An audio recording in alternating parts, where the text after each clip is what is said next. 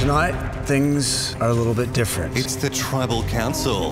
They've got Australia talking. Oh my god. And the girls were calling the shots. Watch out, boys. We're two young girls. We know how to play it and we're, we're doing it right. He's betraying everyone. It's time for Nick to go.